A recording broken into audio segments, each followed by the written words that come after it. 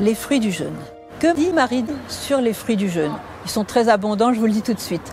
D'abord, vous savez bien que les fruits du jeûne, c'est d'abord de chasser le mal, de chasser Satan. Celui qui prie et qui jeûne n'a pas peur de Satan, n'a pas peur de l'avenir. Donc le jeûne va éloigner Satan. Satan déteste le jeûne. On le voit aussi dans l'Évangile. Hein. Cette espèce-là ne se chasse, dit Jésus, que par le jeûne et la prière. Alors, les fruits du jeûne, d'abord chasser Satan, mais il y en a beaucoup d'autres. Par exemple, la guérison. La guérison physique, la guérison intérieure. La Vierge nous a donné euh, comme exemple, on présentait des malades.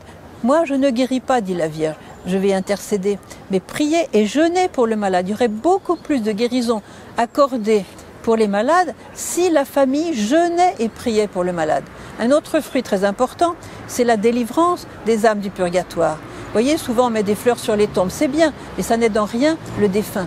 Qu'est-ce qui va aider le défunt, à part bien sûr la célébration des messes Et c'est de jeûner de prier pour le défunt. Le jeûne est très puissant pour faire sortir les âmes du purgatoire et acquérir à travers eux de nouveaux intercesseurs, comme l'a dit la Sainte Vierge, pour nous aider nous-mêmes en retour. Voyez, un autre fruit du jeûne, eh bien, c'est euh, de créer en nos cœurs un nouvel espace pour l'Esprit Saint.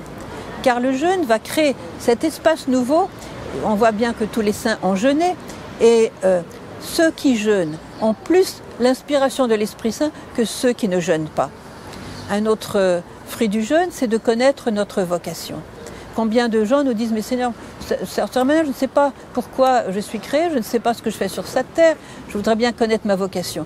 Alors le jeûne va vous aider à connaître ce pourquoi vous êtes fait dans le plan de Dieu. Même si vous êtes vieux, euh, âge moyen ou petit ou jeune, hein, j'exhorte les jeunes à jeûner pour connaître le plan de Dieu sur eux et leur vocation. C'est très puissant, vous voyez, parce que par le jeûne, nous allons être éclairés sur le, rêve de Dieu sur notre vie. Nous allons pouvoir y adhérer. Vous voyez, là je m'arrête là parce que je ne veux pas dépasser mon temps, mais vous voyez que les fruits du jeûne sont très importants. Et Marie nous dit, vous avez oublié le jeûne dans l'Église, reprenez l'usage du jeûne. Voilà.